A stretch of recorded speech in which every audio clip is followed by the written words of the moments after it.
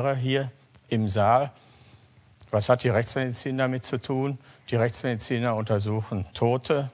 Was ist das für ein Thema? Und da muss ich sagen, wir untersuchen auch sehr, sehr viele Lebende. Es ist richtig, dass wir Tote untersuchen und wir lernen von den Toten für die Lebenden. Und inzwischen untersuchen wir genauso viele lebende Personen wie verstorbene Personen.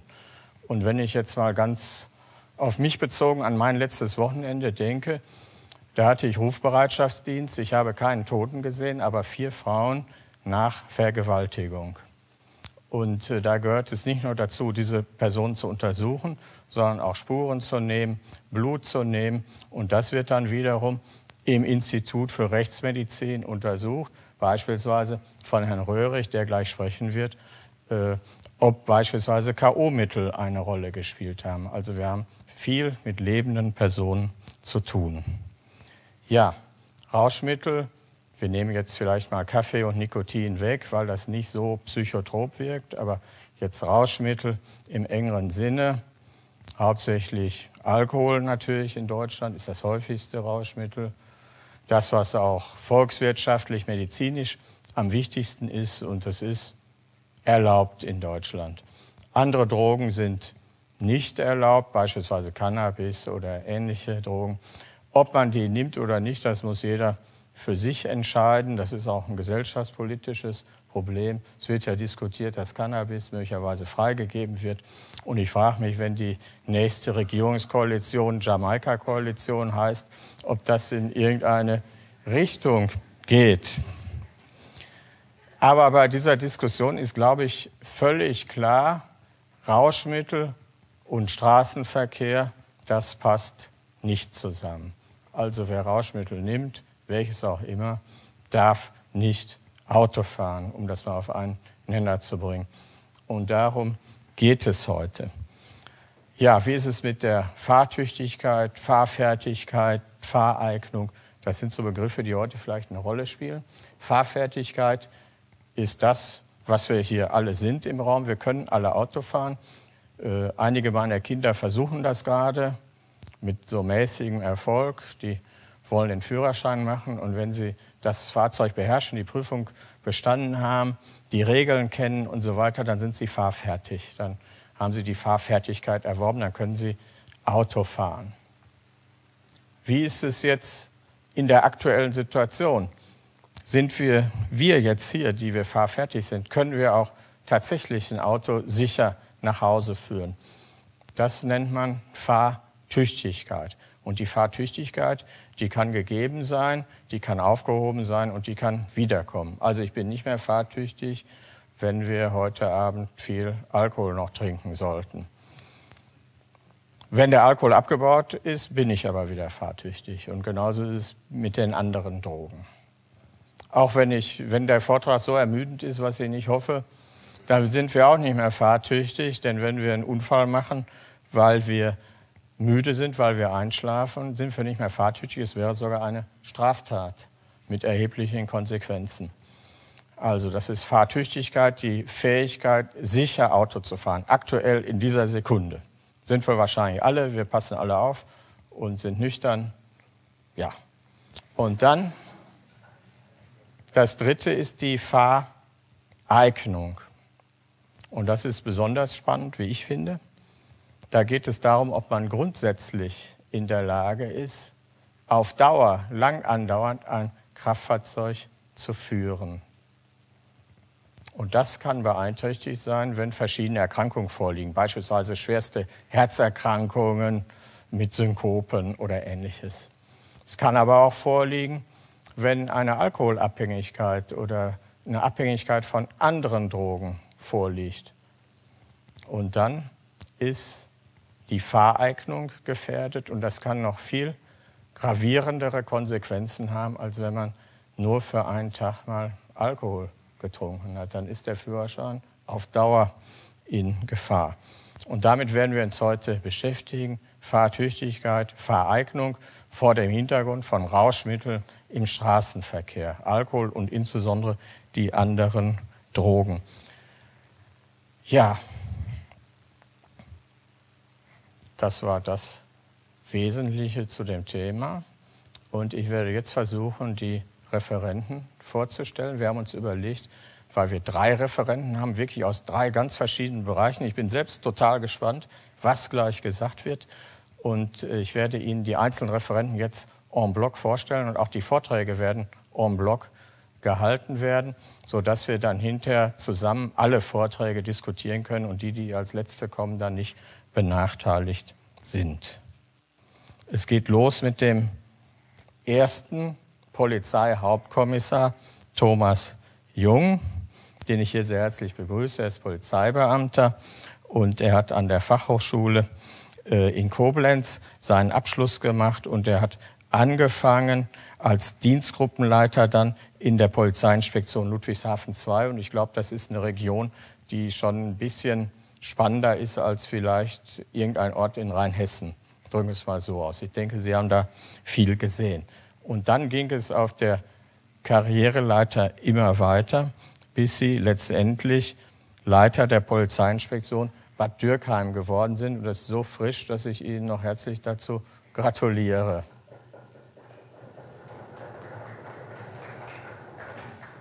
Und Ihr Arbeitsgebiet oder eines Ihrer Arbeitsgebiete ist halt die Drogenerkennung im Straßenverkehr. Das machen Sie seit 1999 und äh, mit viel Erfolg. Die rheinland-pfälzische Polizei insgesamt ist dort sehr aktiv und sehr erfolgreich. Und sie sind auch als äh, Multiplikator eingesetzt. Das heißt, die Erfahrungen, die sie gesammelt haben, die geben sie dann auch an die jungen Polizeibeamten weiter, sodass möglichst viele äh, von Drogen, von Kraftfahrern, die unter Drogen stehen, erkannt werden. Also das ist unser erstes Referat. Der erste Polizeihauptkommissar Jung und er wird darüber sprechen, wie man erkennen kann, ob jemand möglicherweise unter Alkohol oder Drogen steht. Wie jemand äh, aussieht, der alkoholisiert ist, das wissen die meisten, aber wie jemand aussieht, der Cannabis konsumiert hat oder Amphetamine, das ist schon schwieriger festzustellen. Dann geht es mit der Frage weiter, wenn wir jetzt einen Verdächtigen haben, wie können wir jetzt tatsächlich nachweisen, gerichtsfest, dass Drogen im Blut sind? Und dafür ist bei uns im Institut der Herr Dr. Röhrig zuständig. Er leitet die Abteilung für Toxikologie und er ist ein Mainzer Bub und hat hier studiert und wurde auch promoviert am Max-Planck-Institut für äh, Polymerforschung in Mainz und ist dann wissenschaftlicher Mitarbeiter im Institut für Rechtsmedizin in Frankfurt am Main geworden. Und hat dann aber nach kurzer Zeit festgestellt, dass es in Mainz eigentlich noch schöner als in Frankfurt ist und ist seit über 20, seit 20 Jahren ziemlich genau, es müsste eigentlich gefeiert werden mal,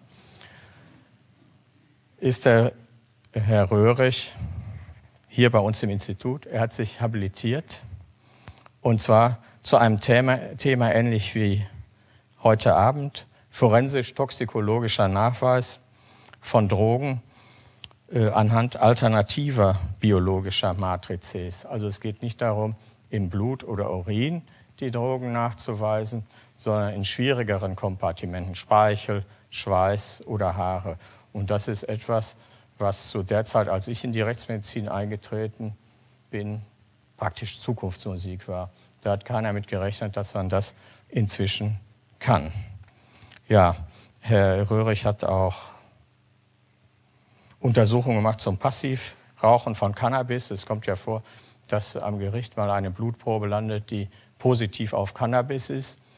Und dann könnte jemand auf die Idee kommen und sagen, ich habe nicht selbst konsumiert, sondern ich habe bei jemandem gestanden, der Cannabis geraucht hat und so völlig äh, unabsichtlich und ohne dass ich das gemerkt habe, habe ich das da selbst eingeatmet und jetzt ist mein Blut halt positiv. Ich habe nicht selbst konsumiert. Und da gab es einen heroischen Selbstversuch, sage ich mal, an dem sehr viele wissenschaftliche Mitarbeiter teilgenommen haben, prospektive experimentelle Studie in Holland in einem Coffeeshop. Und äh, dort hat man dann passiv konsumiert. Ja? und Blutproben genommen, Urinproben abgegeben und tatsächlich festgestellt, dass die Analysemethoden so genau sind, dass selbst Passivrauchen erkannt werden kann. Das fand ich war eine tolle Leistung. Und dann kommt der dritte Vortrag. Man möchte fast sagen, äh, last but not least, oder das dicke Ende kommt zum Schluss, wenn ich nämlich Ihr Thema sehe. Äh, Herr Thorsten Bieck ist auch wie alle anderen hier Beamter, aber trotzdem wird sein Vortrag interessant sein. Und er ist Verwaltungsbeamter. Äh, er ist ausgebildet worden an der Fachhochschule für öffentliche Verwaltung in Main und hat dann äh, seit 15 Jahren etwa sich ganz überwiegend mit Fahreignungsthemen beschäftigt in Kirchheim-Bullern. Und wir haben eben zusammen gesprochen, die Hälfte der Zeit oder sogar mehr die Hälfte der Zeit äh, verwenden sie dafür, um eben die Eignung, die Fahreignung bei Cannabiskonsumenten zu prüfen und das irgendwie zu regeln und möglicherweise auch zu veranlassen, dass der Führerschein entzogen wird. Und das ist für viele Konsumenten etwas Überraschendes, dass hinterher noch nicht nur strafrechtlich, sondern auch verwaltungsrechtlich etwas kommt, was vielleicht, deswegen das dicke Ende kommt am Ende, vielleicht viel schlimmer ist als nur äh, der Entzug der Fahrerlaubnis für eine bestimmte Zeit oder eine Geldstrafe. Und deswegen freue ich mich sehr auf den letzten Vortrag von Herrn Thorsten Bieg, Kreisinspektor in Kirchheim-Bolann. So, ich denke, wir haben oder hoffe, dass wir ein interessantes Programm zusammengestellt haben. Und ich möchte jetzt beginnen mit dem Herrn Jung.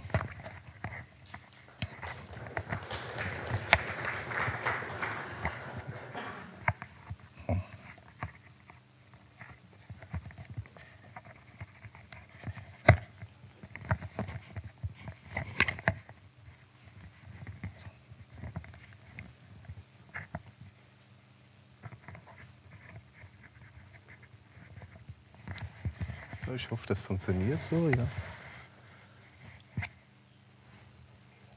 Prima, ja genau. Dankeschön. Ja, vielen Dank, Herr Professor Junger, für die Einladung zur heutigen Veranstaltung. Herr Professor Riebert, herzlichen Dank für die netten einleitenden Worte ähm, zu meiner Tätigkeit, zu dem Vortrag. Schönen guten Abend, meine Damen und Herren. Ich möchte Ihnen heute in dem Vortrag, der auf 20 Minuten beschränkt ist, aufzeigen, welche Möglichkeiten die Polizeibeamtinnen und Polizeibeamten haben, im operativen Bereich eine Fahrt unter Rauschmittel feststellen zu können. Fahren unter Rauschmittel möchte ich allerdings in dem Vortrag beschränken auf Fahrten unter Drogen bzw. Medikamenteneinfluss, weil eine Fahrt unter Alkoholeinfluss ist relativ leicht zu erkennen. Man hat einen Atemalkoholgeruch, den man relativ schnell erkennen kann, hat dann den ersten Verdacht und kann dann eine entsprechende Testung vor Ort vornehmen. Die Feststellung von Faden unter Drogeneinfluss sind relativ schwierig. Deshalb möchte ich Sie im Rahmen meines Vortrages ähm, am Anfang zur Einführung mit statistischen Werten konfrontieren, was für Erfahrungen wir in Ludwigshafen gemacht haben. Ähm, ich möchte Ihnen aufzeigen, welche taktischen Anlässe es gibt, bei denen eine Drogenerkennung notwendig ist. Ich möchte kurz auf die Drogenpalette eingehen, mit der wir regelmäßig konfrontiert werden. Dann möchte ich Ihnen verschiedene Verkehrsunfälle unter Drogeneinfluss vorstellen, einen ausführlich, damit Sie mal sehen, wann man solche Verkehrsunfälle feststellt und wie sich der erste Angriff eines Polizeibeamten darstellt an einem Unfallort. Dann kommt der interessante Bereich der Drogenerkennung. Wie erkenne ich einen, einen Fahrer unter Drogen- bzw. Medikamenteneinfluss, weil ich oftmals vom Geruch her nichts feststellen kann. Und letztendlich möchte ich dann noch auf verschiedene Testmedien eingehen, auf die Herr Dr. Röhrisch dann in seinem Vortrag ausführlicher eingehen wird. Ja, sehr geehrte Damen und Herren, das ist die Statistik der Polizeidirektion Ludwigshafen. 1999 habe ich mich erstmals mit der Thematik beschäftigt, weil ich einfach unzufrieden war. Ich hatte Verkehrsteilnehmer, die waren, ja, man kann es platt ausdrücken, durch den Wind. Man hat keinen Alkoholgeruch wahrnehmen können und letztendlich war man doch relativ verunsichert, was ist jetzt äh, Ursache für dieses Verhalten, was man da festgestellt hat.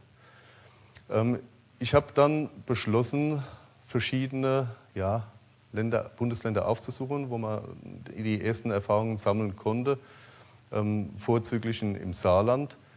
Und dann haben wir ähm, für uns in der Polizeidirektion Ludwigshafen ein Ziel ähm, formuliert, dass wir in der Folge unsere Leute besser ausbilden möchten, dass wir den Testmedien zur Hand geben wollen, um Verdacht zu schöpfen, ob jetzt eine drogenbeeinflusste Fahrt vorliegt oder nicht. Ähm, angelaufen ist das im Jahr 2000. Da sehen Sie die Fallzahlen, wie die rapide angestiegen sind, als die ersten Kolleginnen und Kollegen beschult wurden. Von 19 Fällen 1999 ist, ist das angestiegen auf 305. Und jetzt ist es interessant, wie groß ist unser Einzugsbereich in, Polizeidirektion, äh, in der Polizeidirektion Ludwigshafen. Das ist im nördlichen Bereich Frankenthal, geht über das Oberzentrum Ludwigshafen bis runter nach Speyer im südlichen Bereich.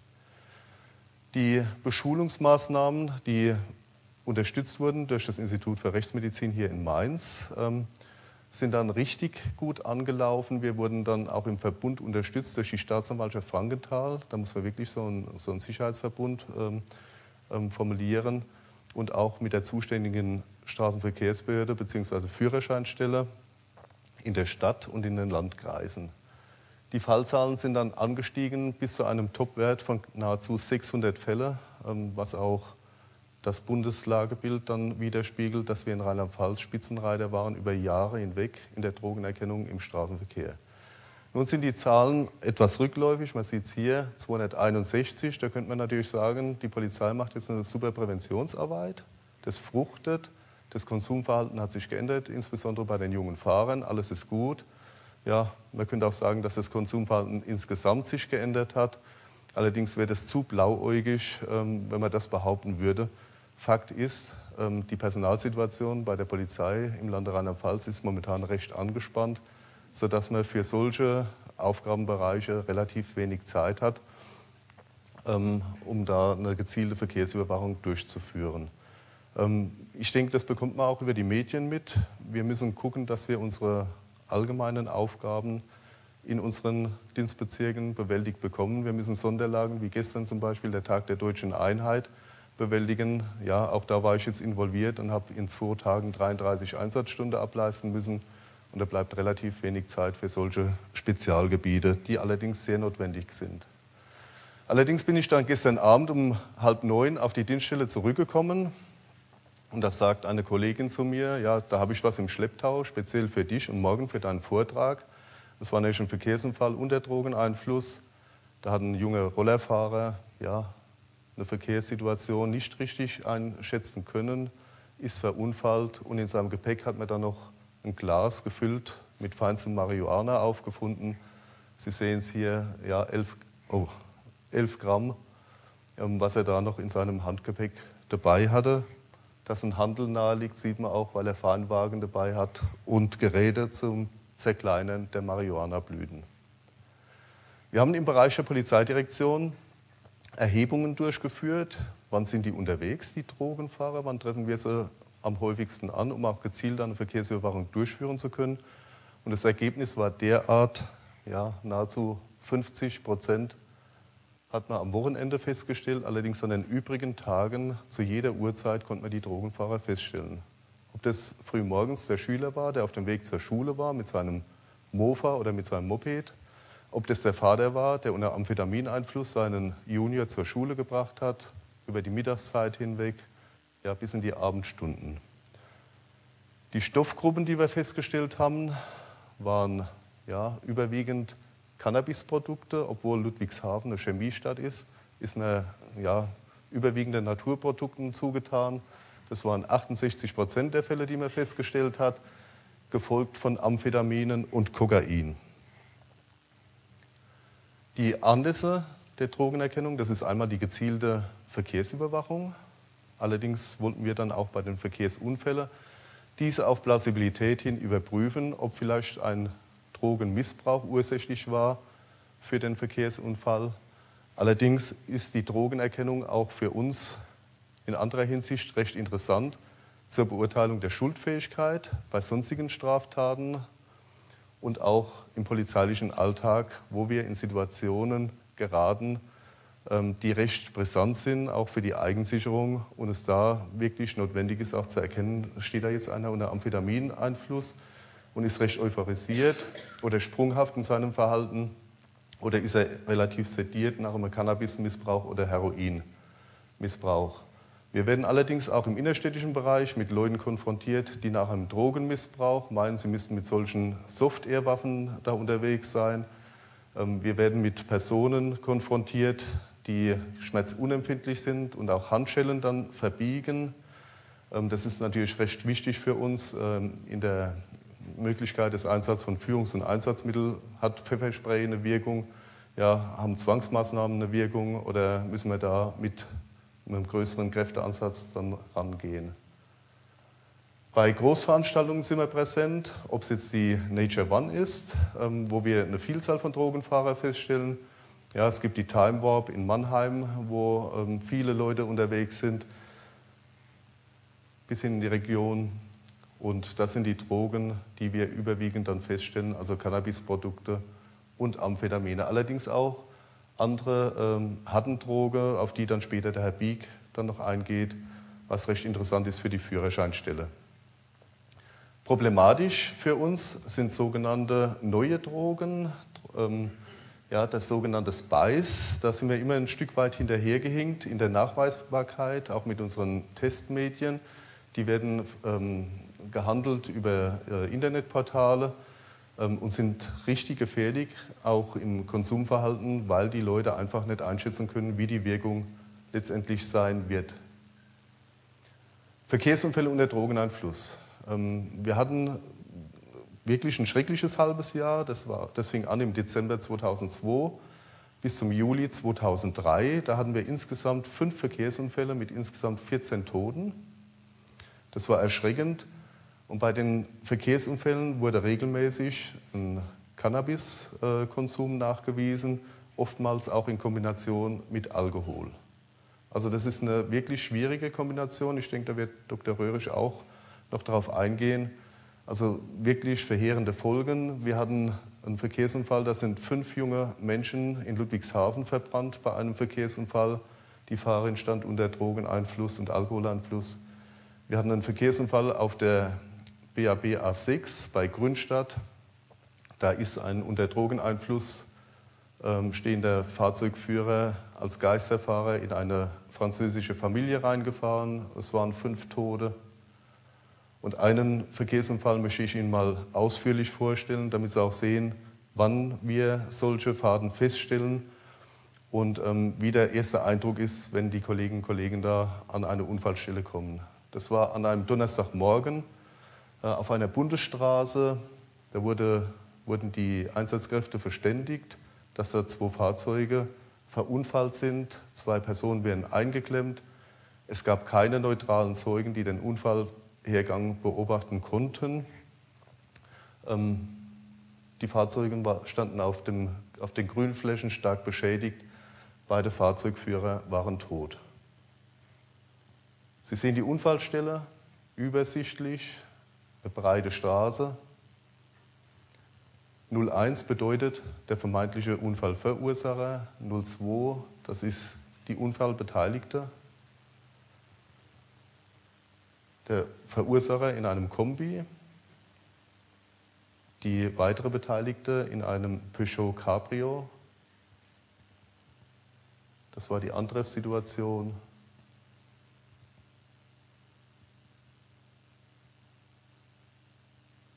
Wir überprüfen dann die Fahrzeugführer.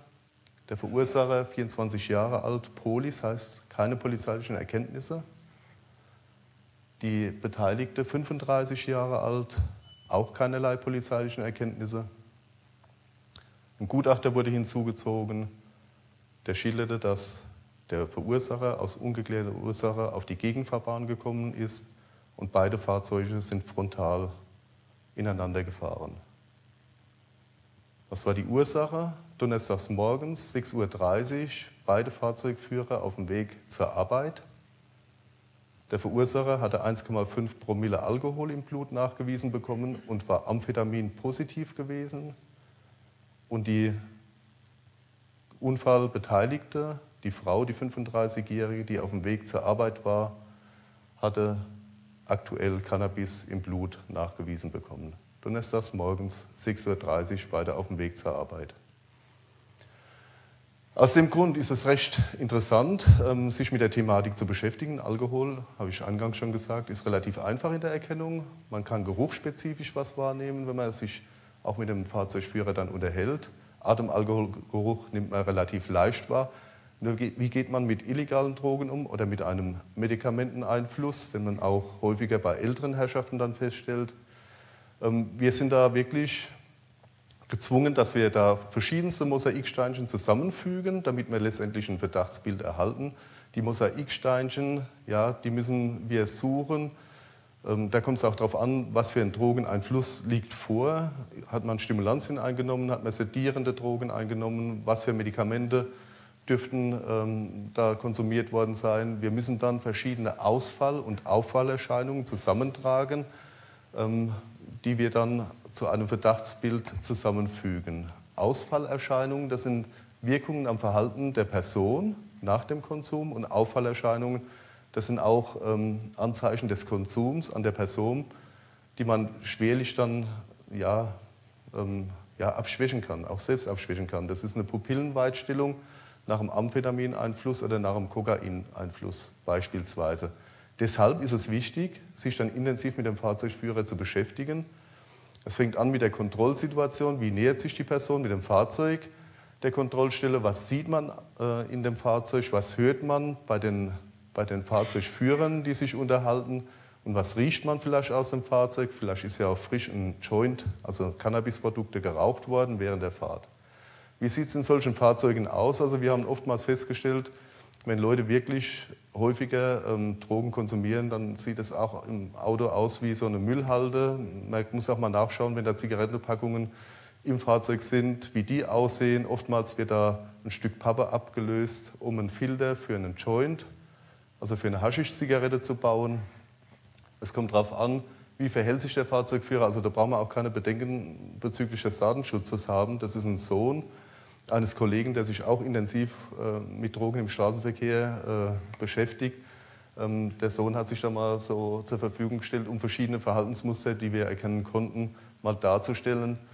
Die Kontrollsituation hat einer nachts eine Sonnenbrille auf. Warum hat er die nachts auf? Hängt vielleicht damit zusammen, dass er Amphetamine konsumiert hat und unheimlich geblendet wird durch den Gegenverkehr.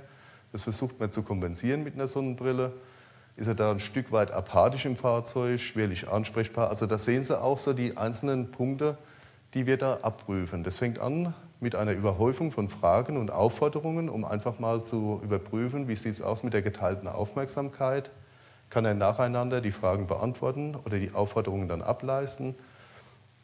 Wir achten darauf, wie die Augen sind, wie die Bindehäute aussehen. Auch mit dem Reinleuchten ins Fahrzeug, mit einer Taschenlampe reagieren die Augen. Hat man da eine Pupillenreaktion, die man feststellen kann? Oder reagiert die Pupille nicht? Oder hat man beim Dunkelheit eine eng gestellte Pupille, was auch atypisch ist? Lauter so kleine Steinchen, die wir zusammentragen müssen. Ja, die Stimmung ist auch recht interessant. Ist er stumpf? Ist er euphorisch? Ja, verhält er sich unangemessen?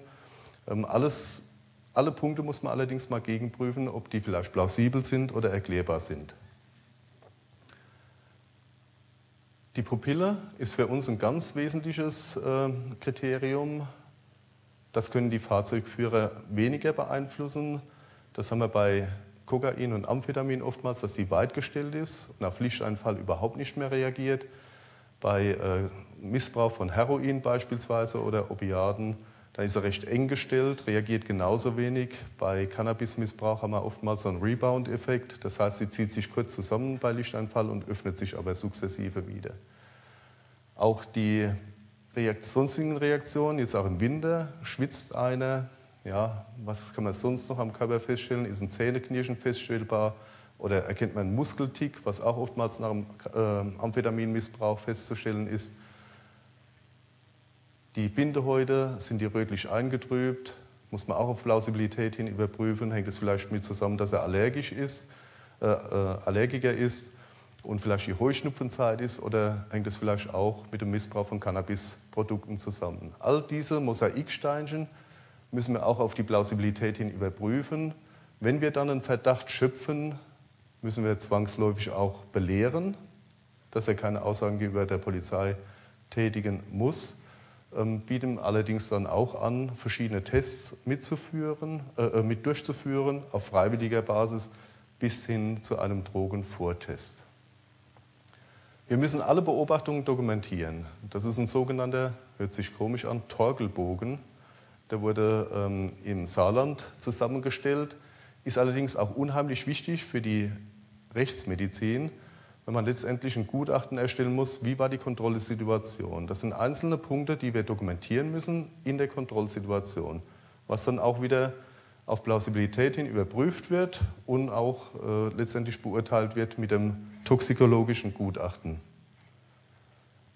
Wenn wir das Ganze zusammengeführt haben und haben unser Verdachtsbild zusammengeführt, dann haben wir die Möglichkeit, verschiedene Vortests dann anzubieten.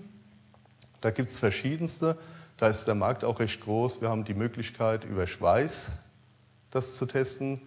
Allerdings ist es recht schwierig, weil zur aktuellen Beeinflussung das kein Ergebnis geben kann.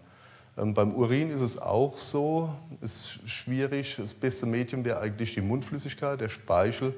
Allerdings sind da die Vortestgeräte noch nicht so weit entwickelt, dass sie auch letztendlich im Bereich äh, von Cannabinoiden dann zuverlässig sind. Wir bei der rheinland-pfälzischen Polizei beschränken uns nach wie vor auf die Testung des Urins vor Ort. Ist auch schwierig, ob man das an der Kontrollstelle dann vor Ort durchführen kann, mit Männern oder mit Frauen dann auf der Dienststelle. Ähm, bei größeren Kontrollen hat man zum Beispiel auch Dixie-Klos dabei, um das dann entsprechend durchzuführen. Auch da merken wir immer mehr und, und ähm, ja, das ist recht interessant, dass sich die Fahrzeugführer darauf einstellen, die illegale Droge konsumieren. Die führen teilweise Fremdurin dann mit. In Becher versuchen dann die Testmedien dann zu beeinflussen. Ja, die informieren sich auch über die Verhaltens- oder die Kontrollmuster der Polizei. Ähm, wenn sie allein den Begriff Drogen im Straßenverkehr im Google generieren, werden sie erschlagen von Beiträgen und Verhaltenshinweisen und Hinweisen, wie kann ich solche Vortestungen dann beeinflussen. Ja, das war jetzt im Schnelldurchlauf zu unseren Erkennungsmöglichkeiten. Normal ist das eine Thematik, die ist abendfüllend. Ähm, für Fragen stehe ich Ihnen nach den beiden folgenden Vorträgen zur Verfügung. Ja, und ich hoffe, dass ich Ihnen mal im Schnellritt so einen Einblick in die Drogenerkennung im Straßenverkehr geben konnte.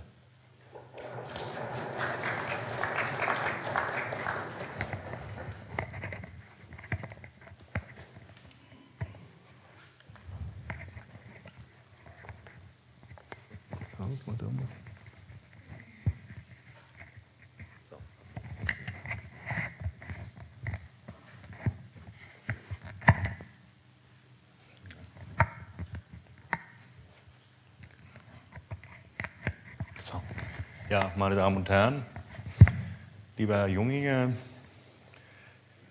vorgestellt wurde ich schon. Ich möchte direkt mit dem Thema weitermachen, steht hier dran. Wir sind eigentlich wirklich gut in der Zeit. Jeder von uns 20 Minuten. Und ich will jetzt mal den Mittelpart machen, den Part zwischen dem, was der Junge eben angefangen hat, dass er äh, geschildert hat, wie kommt man überhaupt zu einem Verdacht, dass jemand Drogen konsumiert hat. Und wir versuchen dann letzten Endes zu verifizieren, sind da wirklich Drogen im Spiel? Wie sind die Konzentrationen? Was kann man daraus schlussfolgern? Und dann leitet das unmittelbar über zu dem, was der Herr Big Ihnen dann im Anschluss erzählen wird, zu den wirklich zu den rechtlichen Konsequenzen, die zum Teil ganz erheblich sein können für den Betroffenen. Nachweis und Wirkung, wie gesagt, der Mittelteil. Die Blutprobe, das ist so praktisch unser Anfang, der geht los, die kommt zu uns ins Institut für Rechtsmedizin, die wird meistens per Post geschickt, wie das kleine Männchen da dieses Paket herbringt. Und warum kommt die eigentlich zu uns? Das hat Herr Riepert eben schon so ein bisschen erläutert. Die Rechtsmedizin, die man so klassisch eigentlich mit Obduktionen, der Öffnung von Leichen in Zusammenhang bringt, ist natürlich, sagen wir mal, ein ganz, ganz vielfältiger Bereich. Die forensische Pathologie, die sich tatsächlich mit Todesermittlungssachen, mit gerichtlichen Leichenöffnungen befasst, ist ein Teil. Es gibt noch wesentliche andere Bereiche, zum Beispiel die Molekulargenetik. Da geht es um Vaterschaftsfeststellungen, um Spuren, Tatortspuren, Identitätsabgleich. die forensische Ambulanz, die eben wesentlich wichtiger immer wird in den letzten Jahren. Herr Riebert wies eben schon darauf hin, dass er am Wochenende jetzt eben mehrere Lebende untersucht hat, vermeintliche Vergewaltigungsopfer und keine Obduktionen durchgeführt hat und als sagen wir mal, wesentlicher Baustein in der Rechtsmedizin unter diesem Dach die forensische Toxikologie, mit der ich mich jetzt nun seit vielen, vielen Jahren befasse, also erst in Frankfurt und dann seit 20 Jahren jetzt tatsächlich schon, die Zeit geht sehr schnell rum, hier in Mainz. Und darüber will ich Ihnen jetzt ein bisschen was erzählen, wie wir arbeiten und ein bisschen was zu den Substanzen, mit denen wir da befasst sind. Die Proben, wo kriegen wir die her? Äh, auch das nochmal ein bisschen, so, um das Ganze ein bisschen einzuschränken oder zu erklären, warum Rechtsmedizin, was haben wir damit zu tun? Die meisten Proben kriegen wir von der Polizei und wir sind kein, aber kein Polizeiorgan, wie das im angelsächsischen Bereich der Fall ist. Also wir sind keine Polizeibehörde, wir gehören eben hier über die Universität, die Johannes Gutenberg Universität, über die Universitätsmedizin zum Wissenschaftsministerium. Der andere Bereich, wo die Proben oder die Aufträge herkommen, ist die Staatsanwaltschaft, also die Justiz, das Justizministerium. Da kommen, bekommen wir unsere Untersuchungsaufträge, unsere Gutachtenaufträge her. Und wie viele Aufträge sind das ungefähr? Wir hatten Anfang 2014 mal eine Erhebung gemacht, eine Auswertung, um einfach mal zu sehen, was wir da überhaupt machen, um im Nachgang so einen kleinen Überblick zu bekommen und haben festgestellt, dass wir in dem Zeitraum zwischen 2003 und April 2014 rund, nicht ganz, 170.000 Fälle bearbeitet haben. Das ist relativ viel, denke ich mal.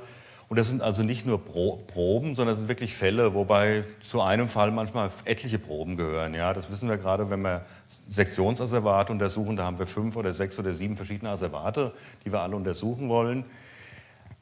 Davon etwas weniger, die Hälfte, knapp 80.000, auch auf Drogen, Medikamente, 85.000 nur auf Alkohol dann setzt sich das so zusammen, was wurde von diversen Auftraggebern im Zusammenhang jetzt zum Beispiel mit Vereignungsüberprüfung, Stichwort MPU, medizinisch-psychologische Untersuchung, was der Herr Bieck später erzählen wird, äh, entnommen und welche Proben kamen dann tatsächlich von der Polizei der Justiz. Das waren immerhin jetzt hier 76.000 und davon 73.000 von der Polizei. Der Rest hier Sektionen, die werden direkt von der Staatsanwaltschaft beauftragt. Also so setzt sich das bisschen so zusammen und daran sieht man, dass sagen wir mal, die Toxikologie sicherlich noch ein ganz wesentlicher Bereich in der Rechtsmedizin ist und äh, da auch einen relativ großen Stellenwert einnimmt. Kommen wir jetzt zu den psychoaktiven Substanzen, um die wir mit, mit denen wir uns heute befassen wollen. Psychoaktive Substanzen sind Substanzen, die eben auf unsere Psyche, aufs Gehirn wirken. Da gibt es, das kann man sich ganz grob merken, drei ganz wesentliche Gruppen. Also andere gibt es eigentlich nicht darin. Unter diesen drei Gruppen kann man eigentlich alles subsumieren. Wir haben einmal die zentral dämpfenden, also die sedierenden Stoffe, wir haben die Stimulantien und wir haben die Halluzinogene. Und da können wir eigentlich alles so schön drin einordnen. Ich will Ihnen jetzt mal ganz kurz ein paar Beispiele zeigen. Ich kann das gar nicht so ausführlich machen. Da können wir ganze Vorlesungsreihen mitfüllen. Da könnten wir hier jetzt bis äh, nächsten Monat könnten wir hier zusammensitzen und ich könnte mir weiter erzählen. Das wollen wir natürlich nicht. Ich will das ein bisschen schlaglichtartig machen und dann in erster Linie auf die Analytik eingehen, auch nur in einfacher Art und Weise, aber Ihnen mal zeigen, wie das so funktioniert, wie das abläuft. Zentral dämpfende. Gibt es verschiedene Substanzgruppen, die da rein subsumiert werden können? Allen voran das Rauschmittel Nummer eins hier im westlichen Kulturkreis, der Alkohol. Das weiß jeder, der schon mal Alkohol in etwas größerer Menge getrunken hat letzten Endes macht es irgendwann müde, ja, sediert. Und dass die beiden hier sediert sind, das sieht man hier auch ganz gut. Ne? Er liegt hier nicht so einer ganz optimalen Körperhaltung. Also der ist schon schwer beeinträchtigt, also eine starke Sedierung. Die zweite für uns forensisch-toxikologisch relevante also, äh, Gruppe, Rauschmittelgruppe, das sind die Opiate, allen voran das Heroin, auf das ich jetzt im Einzelfall noch mal kurz eingehen will, exemplarisch. Und dann gibt es einen ganz, ganz riesigen Bereich an zentral wirksamen Arzneistoffen, der praktisch unüberschaubar fast ist. Das fängt an mit dem Opiatanalogen in Opioiden, also Analgetika in erster Linie, stark wirksame Analgetika, was weiß ich, Tramadol, äh, Fentanyl, was da alles gibt. Dann viele Schlafenberuhigungsmittel, gerade Benzodiazepine, haben eine hohe Relevanz, eine forensische, was Verkehrstüchtigkeit angeht, was Fragen der Schuldfähigkeit angeht. Und dann haben wir etliche äh, Psychopharmaka, vor allem Neuroleptika, die auch eine stark sedierende Wirkung haben, die dann auch unter Umständen relevant sein können, die eine Beeinträchtigung machen, die dann letzten Endes sich im Verkehr oder allgemeinem Verhalten auswirken kann. Ein Beispiel hier für Sedierende habe ich rausgegriffen, die ja, zentral dämpfende Droge Nummer eins, die zwar in den letzten Jahren doch deutlich zurückgegangen ist, aber immer noch nach wie vor konsumiert wird. Wir haben immer noch einen bestimmten Anteil an Heroinkonsumenten, der ändert sich auch nicht groß, der bleibt einfach fast konstant. Heroin äh, bewirkt zunächst mal direkt nach der Injektion, es wird meistens injiziert, aber auch nach dem Rauchen. Es wird in den letzten Jahren auch sehr oft geraucht. Das nennt man Blechrauchen oder Folienrauchen. Es wird verdampft von so einem Blech. Dann inhaliert man das praktisch über so einen Strohhalm. Wirkt das diesen typischen Heroin-Kick, den Flash. Das ist eine extremste Euphorie, die schlagartig einsetzt. Und danach stellt sich aber eigentlich das ein, wonach der Abhängige so sucht, nämlich das, was als Feeling oder Balance bezeichnet wird, so ein gleichförmiger Zustand. Der äh, Betroffene, der Berauschte ist benommen, sediert, ist verlangsamt. Und da zeigt sich dann typisch bei Opiaten die Pupillenverengung, was der Herr Junge eben auch gezeigt hat, ganz typisches äußeres Merkmal. Naja gut, und wenn dann diese Wirkung nachlässt, das kann im Einzelfall bei Schwerstabhängigen schon nach vier, fünf Stunden der Fall sein, ohne weiteres, stellt sich der Entzug ein, das Craving, der Opiathunger, äh, das kann sich hin steigern bis zu einem schwersten lebensbedrohlichen Entzugsdelir. Die Opiate. Kommen wir jetzt zur zweiten großen Gruppe von den dreien. Das sind die Stimulantien, stimulierende Substanzen. Und wie die wirken, das wissen die meisten von uns wahrscheinlich eben anhand dieser äh, Alltagsgenussmittel, äh, Kaffee oder Zigaretten. Die haben einfach eine leicht anregende, stimulierende Wirkung. Gerade beim Kaffee ist das der Fall, bei koffeinhaltigen Produkten. Danach kommen wir dann doch zu etwas äh, härterem Material, nämlich das Kokain. Das ist dann nicht nur ein quantitativer Unterschied zum Kaffee, sondern auch tatsächlich ein qualitativer. Ich will es dann nochmal gleich ein bisschen ausführlicher machen. Und dann vor allen Dingen synthetische Drogen. Amphetamin, Methamphetamin, MDMA, sprich Ecstasy. Und neuere Sachen, die sogenannten neuen psychoaktiven Stoffe, NPS abgekürzt, synthetische Drogen, ganz vielfältige Art und Weise, die immer wieder auf den Markt kommen Dabei handelt es sich sehr, sehr oft um äh, Psychostimulantien vom Amphetamintyp. Also die, würde man sagen, abgesehen von den synthetischen Cannabinoiden, sind die meisten modernen neuen psychoaktiven Stoffe, die gehandelt werden, sind fast alles Amphetaminderivate oder Katinonderivate. Das ist also sehr, sehr weit verbreitet. Die kann man auch chemisch sehr leicht modifizieren und kann damit immer neue Produktvarianten schaffen. Das ist sehr einfach herzustellen. Beispiel für stimulierende Drogen ist das Kokain. Kokain ist so ein klassisches Psychostimulanz. Es gibt schon das Kokain selber oder die Coca-Pflanze ist eine sehr, sehr alte Kulturpflanze. Die wird schon äh, in, von den äh, Andenbewohnern vor 1000, 2, 3, 4.000 Jahren genommen. Da wurde das Coca schon gekaut. Das konnte man anhand von Haaranalysen feststellen. In Haaren von Leuten aus den Anden hat man Kokain nachweisen können. Also die haben damals kein Kokain geschnupft, sondern haben Coca äh, gekaut. Das hat so zwei ganz interessante Aspekte. Einerseits den kulturgeschichtlichen, dass man weiß, dass die Coca-Pflanze wirklich eine sehr, sehr alte Kulturpflanze ist. Und der zweite eben, dass äh, Drogen in Haaren sich sehr lange halten, über Tausende von Jahren unter Umständen. Wie wirkt das Kokain? Das ist so die ganz allgemeine Wirkung aller Psychostimulantien, Steigerung von Wachheit und Aktivität. Daneben stellt sich, und das ist eben der große Unterschied dann zum Koffein, eine starke Euphorisierung ein. Die Leute sind extrem euphorisiert und gerade beim Kokain ganz ausgeprägt ein pathologisch gesteigert oder übersteigertes Selbstwertgefühl bis hin zu Omnipotenzfantasien. Jemand unter Kokaineinfluss ist der allergrößte, klügste, schönste und in diesem Zustand dieser Selbstüberschätzung der Omnipotenz, dieser Allmacht, die man hat, ist man natürlich ja, unglaublich kontaktfreudig bis hin zur Distanzlosigkeit, hat Rededrang, die Leute reden ohne Punkt und Komma. Ich hoffe jetzt nicht, dass Sie denken, ich hätte hier Rededrang, weil ich hier so viel rede. Äh, das hängt jetzt mehr mit der Veranstaltung zusammen. Und natürlich, wenn man äh, in so einem Überzustand ist, wo man der allergrößte, schlauste, klügste ist, dann ist man natürlich erhöht risik äh, risikobereit, weil man sich eben das Gefühl hat, man hat alles im Griff, kann das Auto steuern wie, wie ein Rennfahrer, obwohl man eigentlich gar kein so besonders guter Autofahrer ist. Das ist äh, ein ganz, ganz typischer Zustand und der hält eine ganze Weile an und danach ja, stürzt das Ganze ab und das ist eben der Trigger dann auch für die Sucht von diesem Höhenflug ganz oben sackt der Fahrstuhl, der stürzt praktisch nach unten durch in eine ganz, ganz tiefe Depression, in paranoide Wahnvorstellungen. Die Leute fühlen sich ängstlich, fühlen sich verfolgt, haben schwere Angst, werden zum Teil gewalttätig, dann aber auch durch die paranoiden äh, Wahnvorstellungen, die sich da einstellen. Und dieses ja, Von ganz oben, vom Allergrößten zum Allerkleinsten, der ganz ängstlich und, und, und, und depressiv ist, das triggert die Abhängigkeit. Und gerade wenn Kokain zum Beispiel geraucht wird, das ist das Crackrauch, und Crack ist rauchbares Kokain, stellt sich eine extreme Sucht ein, die ist also stärker als die Heroinabhängigkeit. Ja, da haben wir also eine ganz massive Suchtentwicklung, die dadurch, äh, einher, damit einhergeht. Und was wir dann haben, ganz typisch bei Psychostimulantien, das hat der Jung eben schon gezeigt, das sind diese erweiterten Pupillen, die eben auch weit bleiben, auch wenn's, äh, wenn Licht einfällt. Da kann man reinleuchten, wie man will. Das hat man alles äh, schon ziemlich gut untersucht und dann bleiben die einfach weit. Die dritte Gruppe, das ist, sagen wir mal so, die ja, pharmakologisch oder von der Wirkung auf die Psyche oder auf unser Nervensystem, zentralen Nervensystem eigentlich die interessanteste.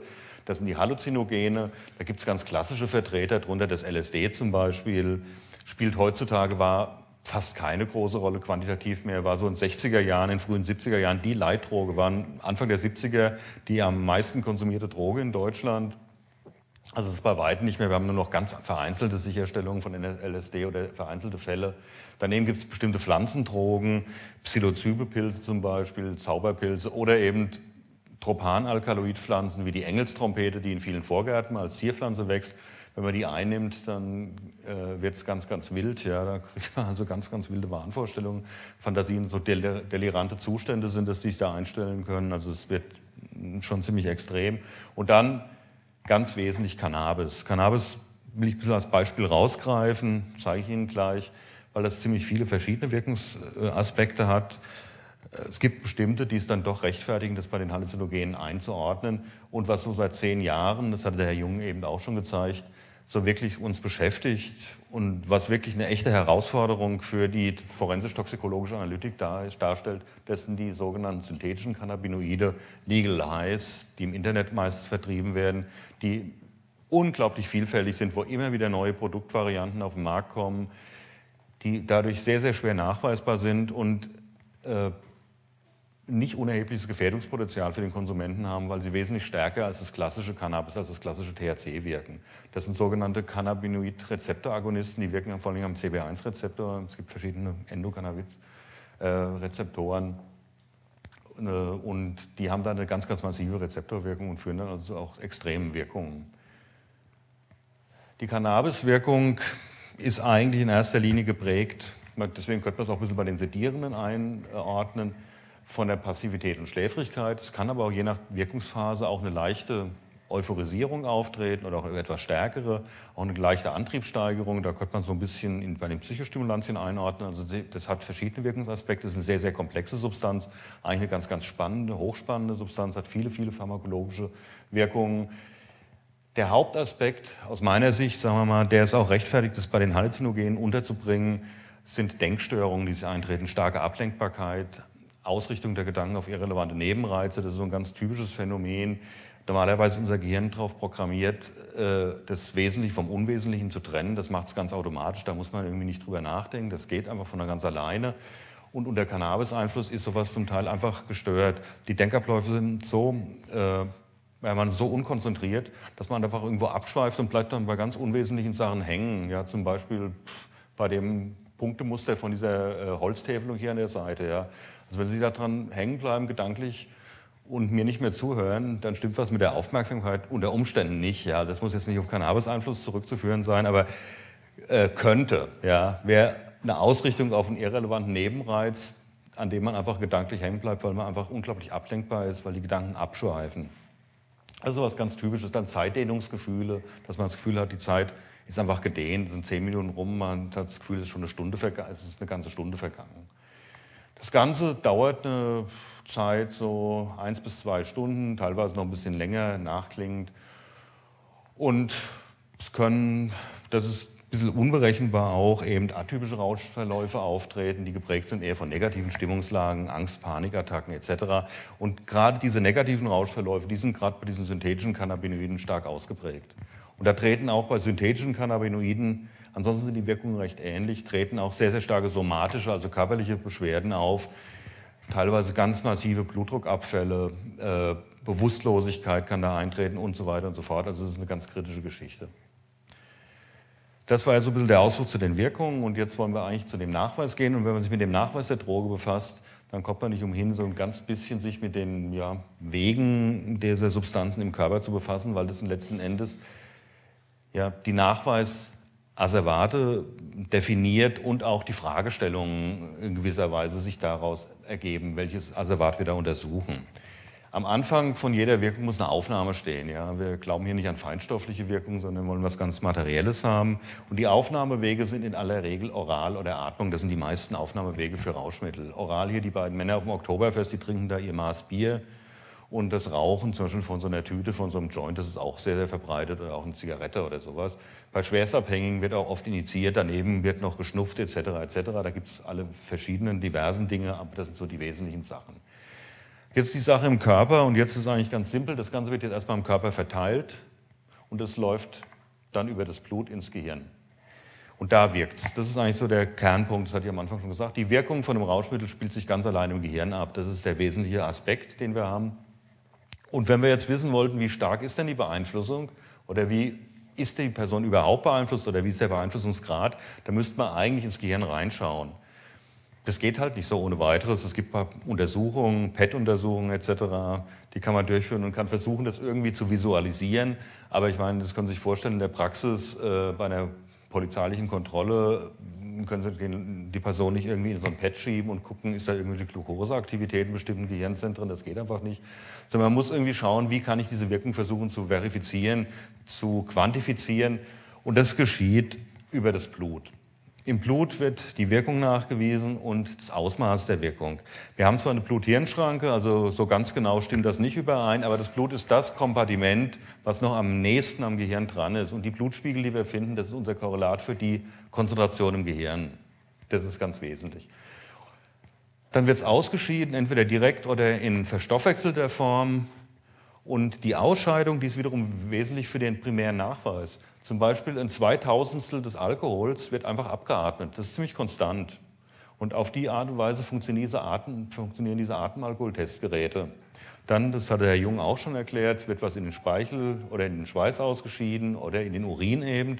Und da kann man Vortests durchführen. Oder eben Drogen werden in Haare eingelagert und da kann man die auch dann untersuchen.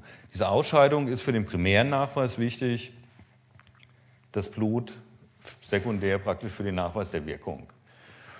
Und wenn wir diese Asservate jetzt haben, dann kann, definieren die auch ja, unterschiedliche Zeitfenster. Das ist ganz wichtig zu wissen. Da gibt es kursieren oftmals, ich kriege öfters mal Anrufe, äh, auch von äh, Leuten aus der Klinik. Da kursieren ganz kuriose Vorstellungen teilweise, wie sich das zeitlich verhält. Der kürzeste Nachweis ist grundsätzlich im Blut. Das kann man grundsätzlich so sagen, dass die Substanz Stunden bis Tage, maximal Tage nachweisbar. Tage bei Substanzen, die langsam ausgeschieden werden, wie zum Beispiel Cannabis oder Benzodiazepine. Aber man kann eben im Blut, wie ich schon gesagt habe, eben den akuten Konsum und den Beeinflussungsgrad festlegen. Dann die mittelfristige Aufnahme wird durch Urinproben abgedeckt. Da geht es Tage bis Wochen. Hier auch wieder Cannabis relativ lang, Benzodiazepine relativ lang. Und Haare, naja gut, da geht es so lang, wie die Haare sind. Das menschliche Kopfhaar wächst ungefähr einen Zentimeter pro Monat. Das heißt, wenn ich also 40 Zentimeter lange Haare hätte, die ich jetzt mal nicht habe, dann könnte ich 40 Monate untersuchen, wenn ich die in der Kopfhaut abschneide und könnte mir das anschauen von praktisch hier von der Kopfhaut bis zur Spitze und dann kann, könnte ich die theoretisch auch sequenzieren. Das macht man auch zum Teil und dann schaut man nach, was man findet und dann hat man so eine Zeit, ja, so eine, so eine Zeitschiene des Konsums. Wie untersucht man die jetzt? Und dazu muss man eigentlich wissen, dass Drogen ja, in sehr, sehr geringen Konzentrationen vorliegen. Und da habe ich mal so ein Beispiel gemacht, so ein Gramm Zucker, das sind so circa 2,7 Gramm, hat so ein Stück, ich sage mal circa 3 Gramm, das macht es einfacher. Gelöst in drei Litern, das ist ein Gramm pro Liter, das ist der Promillbereich, da liegt der Alkohol vor. Wenn ich den Würfelzucker jetzt schon in so einen Tanklastwagen mit 3000 Liter reinwerfe, dann bin ich bei den typischen Wirkspiegeln von Pharmaka, von Amphetamin, von, von normalen Medikamenten, die liegen so im Milligramm pro Liter Bereich. THC liegt im Mikrogramm pro Liter Bereich, das ist der Würfelzucker hier in dieses Tankschiff und der Tegernsee, das ist ein bisschen übertrieben, also das findet man dann auch nicht mehr unbedingt, ja, wenn man so ein Würfelzucker, äh, Stück Würfelzucker da reinwirft. Das sind so Endausscheidungskonzentrationen von LSD, was sehr, sehr niedrig äh, dosiert ist. Da sind wir im Pikogramm pro Liter Bereich, also da wird es schon, oder im Nanogramm pro Liter Bereich, Pikogramm pro Liter, da wird es schon schwierig. Es gibt zwei wesentliche Verfahren in der gängigen Laboranalytik. Das ist einfach, was man grundsätzlich im Auge behalten muss. Die sind grundsätzlich qualitativ ganz, ganz unterschiedlich. Es gibt Antikörperbasierte Testverfahren, Immunoassays. Da überlässt man die praktisch die Drogentestung einem Antikörper, der erzeugt, wie man das auch immer anstellt, das ist hier nicht unser Thema, in irgendein Signal, eine rote Linie beispielsweise bei so einem Schnelltest. Und es gibt physikalische Verfahren, das sind meistens chromatographisch-massenspektrometrische Methoden, wo man physikalisch eine Substanz direkt nachweisen kann. Und der Vorteil von diesen antikörperbasierten Tests ist einfach der, die sind schnell, einfach durchführbar, preiswert, die kann man konfektionieren zu Schnelltests, die sind als Vortest geeignet, sind aber eingeschränkt empfindlich und eingeschränkt spezifisch, liefern auch falsch positive Ergebnisse und äh, diese physikalischen Nachweismethoden, Spektroskopie, Massenspektrometrie, die sind sehr, sehr spezifisch und auch sehr empfindlich. Die liefern wirklich gerichtsverwertbare, weißliche Resultate, sind aber aufwendiger in der Durchführung, dauern länger, sind als Vortest nur bedingt geeignet. So sieht sowas, so sehen die Sachen aus. Ich will das jetzt nicht im Detail machen. Die automatisierten Verfahren im Labor, das sind äh, CEDIA-Tests, FPIAs, ELISAs, gibt es verschiedene Testverfahren und man kann die aber auch, das ist ein großer Vorteil, eben auch miniaturisieren. Wir können die verkleinern und können dann eben diese Kassettentests draus machen, die zum Beispiel bei der Polizei eingesetzt werden für die Vorort-Drogentestung. Hier nochmal so ein Beispiel für so einen antikörperbasierten Test, so schematisch gezeigt. Das ist Antigen die Droge. Der Antikörper, der passt hier rein in die Antigenbindungsstelle. Äh, der erkennt den praktisch. Das ist jemand, hier skizziert mit diesem THC-Antikörper, der fängt hier das Hanfblatt, aber diese Kugel kann er nicht erkennen, die passt da einfach nicht rein. So funktionieren diese Tests im Prinzip und die führen dann zu irgendeinem Signal, das muss man technisch dann verifizieren, dass eben meist ein optisches Signal äh, herauskommt, das man dann messen kann.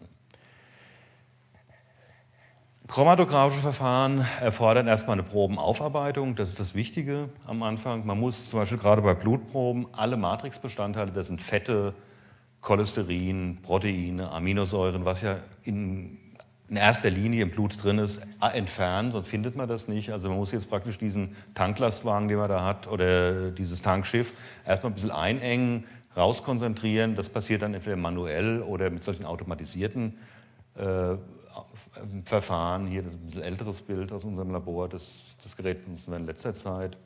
Und dann werden die untersucht. Und dann komme ich auch wirklich schon zum Ende von meinem Vortrag mit solchen Geräten. Das sind Chromatographen, Massenspektrometer. Die Chromatographie ist ein Trennverfahren. Da werden Stoffgemische aufgetrennt in Einzelkomponenten. Also eine komplexe Mischung wird getrennt. Das passiert einmal in der Gasphase durch einen Gaschromatographen oder in der Flüssigphase durch einen Liquid-Chromatographen, also einen Flüssigchromatografen, LC abgekürzt.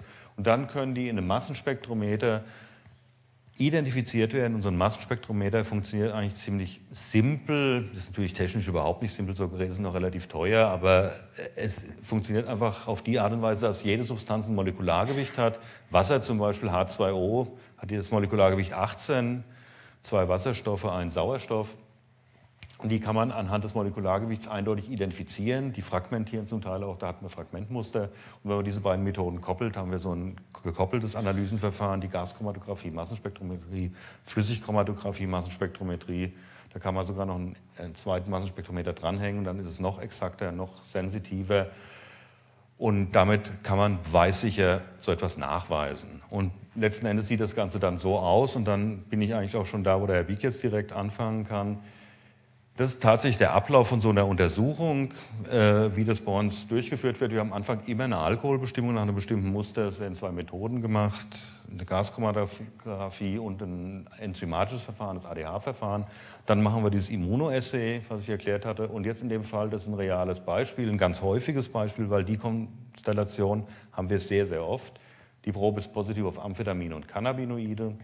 Dann werden die Sachen quantifiziert mit einem chromatografischen Verfahren, eben zum Beispiel mit der Flüssigchromatographie, Massenspektrometrie-Kopplung. Da finden wir jetzt Amphetamin zwischen 190, THC 7,5 Nanogramm pro Milliliter und noch welche äh, Stoffwechselprodukte des THCs. Und das Ganze wird dann in so einen Fundbericht verpackt, der enthält Probandendaten, Probendaten, wann ist die Probe entnommen, etc. etc. Der gliedert sich dann einmal in den Immunoassay, Untersuchung, so sieht das aus. Das ist ein realer Befund. Ich habe jetzt den Namen hier weggemacht. Dann die quantitative Analyse und dann eine kurze gutachtliche Stellungnahme, wo mal kurz drin beschrieben ist, was man mit den Werten anfangen kann, ob da eine Wirkung vorliegt zum Beispiel. In dem Fall ist es anzunehmen bei diesen Werten, dass eine THC-Wirkung vorliegt. Und das Ganze wird dann an die Polizei weitergeschickt oder an die zuständige Staatsanwaltschaft und letzten Endes landet es dann auch bei den Führerscheinstellen. Und damit bin ich am Ende mit meinem Teil und darf mich bei Ihnen bedanken.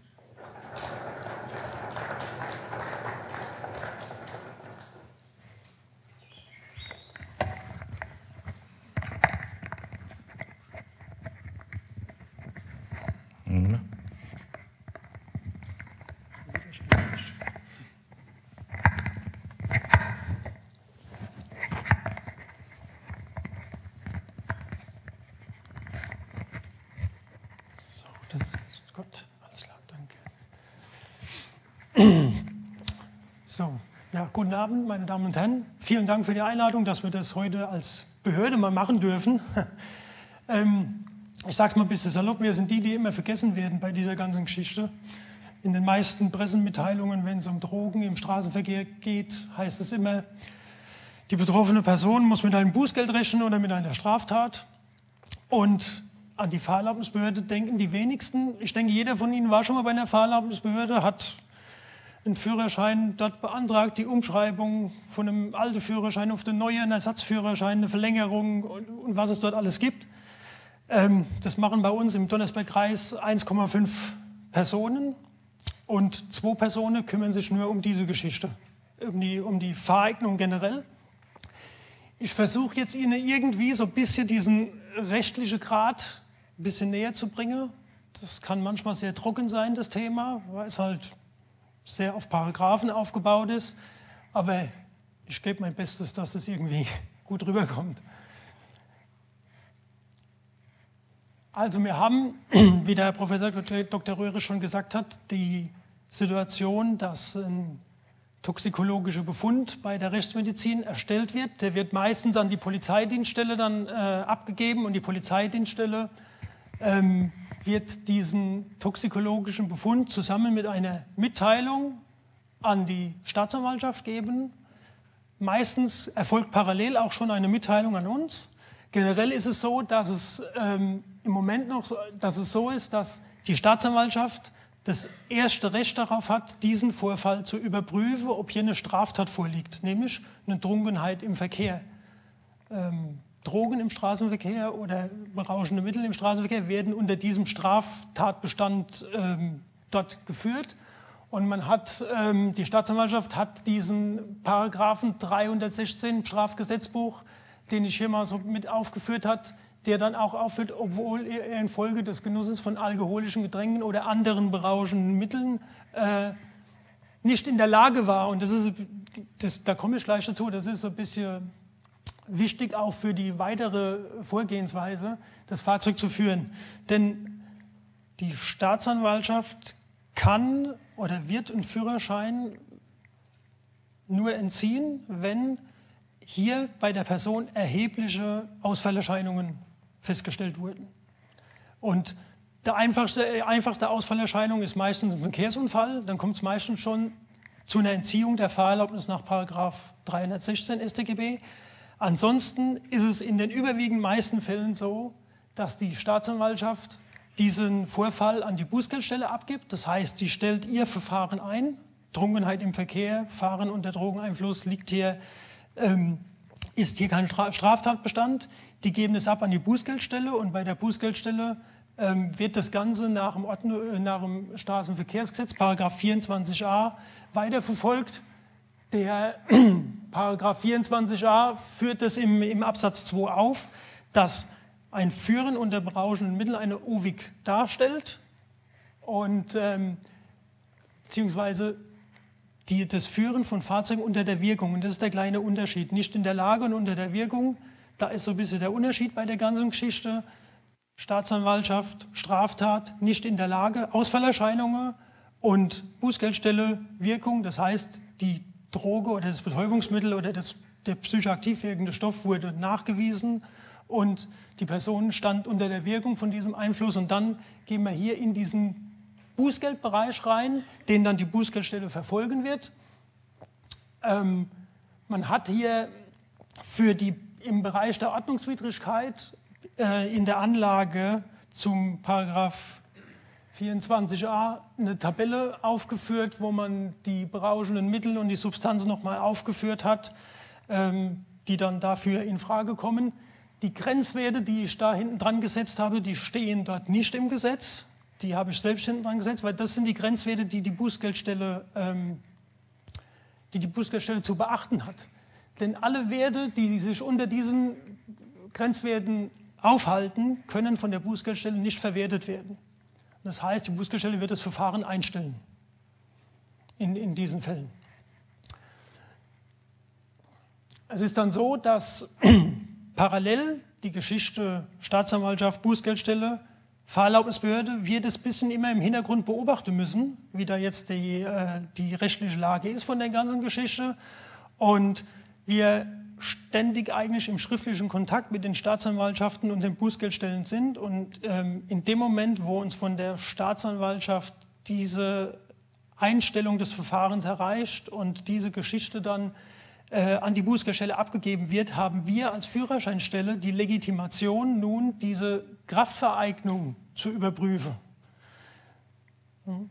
Denn es gibt ähm, das ist in Paragraph 3 Absatz 3 Straßenverkehrsgesetz geregelt, dass, die, dass ein Sachverhalt, ähm, der eventuell zu einer strafrechtlichen Entziehung der Fahrerlaubnis führt, solange von der Führerscheinstelle nicht verwertet werden darf. Hm. Und durch die Abgabe, die dann die Staatsanwaltschaft an die Bußgeldstelle vorgibt, ist es für uns das Zeichen, dass es hierzu keine weiteren Strafverfolgung gibt. Die Person wird ganz normal nach dem Paragraph 24a geahndet. Es äh, wird ein Bußgeld ausgesprochen, da komme ich später nochmal dazu. Und ähm, es gibt dann auch ein Fahrverbot und es gibt Punkte in Flensburg. Und äh, wir haben jetzt parallel die Möglichkeit oder müssen diese Möglichkeit auch durchführen, ähm, die Eignung von der Person zu überprüfen. Inwiefern liegt denn hier eine Fahreignung vor? Es wurde vorhin kurz darüber gesprochen. Ähm, ist die Person denn jetzt geeignet, Fahrzeuge sicher zu führen, wenn sie Konsument von bestimmten Rauschmitteln ist? Und da gibt es dann die Legitimation, ist der Paragraph 46 äh, in der Fahrerlaubnisverordnung, der ist ähnlich oder ziemlich identisch ist mit dem Paragraph 3 des Straßenverkehrsgesetzes, ähm, dass wenn sich die Ungeeignetheit erwiesen hat, die Person nicht geeignet ist und die Fahrerlaubnis zu entziehen ist. Und das passiert dann auf dem Verwaltungsweg, den, das waren so unsere Erfahrungen in den letzten Jahren, doch sehr viele für überraschend halten, dass äh, die Verwaltungsbehörde da dann plötzlich um die Ecke kommen, in Anführungszeichen. Der Unterschied zwischen den beiden Absätzen ist im Paragraph 46 ähm, ist in Paragraph 46 hier das, die Anlage 4, der Verweis auf die Anlage 4, 5 und 6. Die Anlage 4, 5 und 6 zu der Fahrerlaubnisverordnung sind ähm, Einschränkungen durch verschiedene Krankheiten, durch Konsum von verschiedenen Rauschmitteln, von Alkohol, die da zusammengeführt wurden in dieser Anlage 4. Die basieren auf den Begutachtungsleitlinien zur Kraftvereignung diese basieren auf wissenschaftlichen, medizinischen, ärztlichen Erkenntnissen, die, äh, die dann zusammengeführt wurden. Und die wurden in dieser Anlage 4 vom Gesetzgeber übernommen. Und in dieser Anlage 4 wird dann aufgeführt, wann bei welchen Konstellationen bei einer Person eine Eignung oder eine bedingte Eignung, das gibt es auch, dass man Fahrerlaubnisse unter Auflagen erteilen kann, vorliegt. Und das Ganze wird dann dort nochmal untergliedert in verschiedene Fahrzeuggruppen. Also für die Gruppe 1, das, das Auto, ist es anders wie zum Beispiel für die Gruppe 2, der LKW. Das ist ein klassisches Beispiel, Diabetes zum Beispiel. Da haben wir zwischen LKW und, ähm, und Pkw äh, riesige Unterschiede, ähm, was dann Diabetes Typ 1 und Typ 2 angeht, aber das ist jetzt nur mal so nebenbei gesagt. Wir haben wir haben in der Fahrerlaubnisverordnung, ja, das ist unser Paragraph 14, wir haben in der Fahrerlaubnisverordnung auch diese Regelung, wie mit den Fahrten unter Betäubungsmitteleinfluss ähm, umgegangen werden muss. Ähm, der Paragraph 14 ist ein Paragraph, der uns die Möglichkeit gibt, verschiedene Dinge über Gutachtensbeibringungen äh, zu, zu regeln. Ähm, Der Paragraph 14 ist einer von, von drei Paragraphen, das ist der, von vier sogar, das ist der Paragraph 11, 12, 13 und 14, die diese Eignung ähm, festlegen. Das ist einmal diese körperliche, geistige Eignung, das ist einmal die Safemöge, ist speziell nochmal geregelt. Dann haben wir die Alkoholproblematik und wir haben die Drogeproblematik, die wir hier dann verfolgen müssen.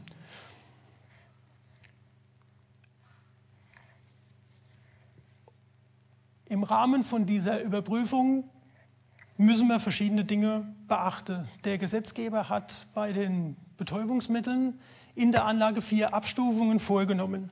Es ist die Abhängigkeit geregelt, es sind die Einnahme von Arzneimitteln geregelt, es ist die Einnahme von Cannabis geregelt und es ist die Einnahme von allen anderen Betäubungsmitteln geregelt.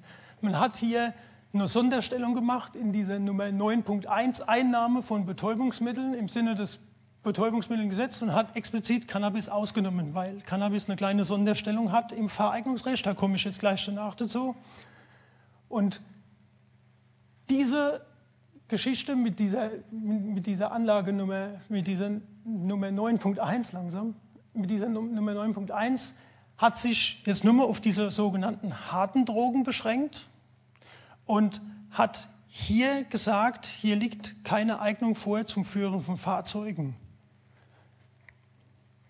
Und man spricht da von allen Fahrzeugen. Also es geht hier nicht nur ums Pkw. Wir, haben im, wir sind zwar Fahrerlaubnisbehörde, aber wir haben im Führerscheinrecht ähm, verschiedene Fahrzeugarten zu beachten. Darunter fallen auch, weil wir vorhin gerade das, das, das Beispiel mit dem Moped hatten, fallen auch Mobas, Moped und Fahrräder.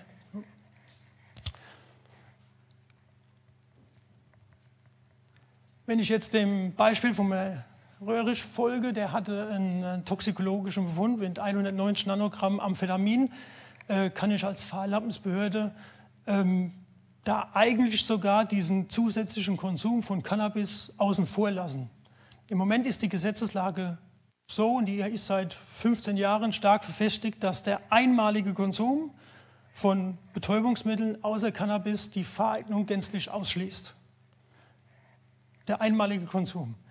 Und noch eine Besonderheit bei, Kon bei, bei Konsum von harten Drogen ist, der muss man noch nicht mal in Bezug zum Straßenverkehr passiert sein. Wir kriegen öfters äh, Fälle von Gewaltdelikten mitgeteilt bei der Führerscheinstelle, wo die, die Opfer oder auch die, die Täter speziell unter dem Einfluss von Drogen standen.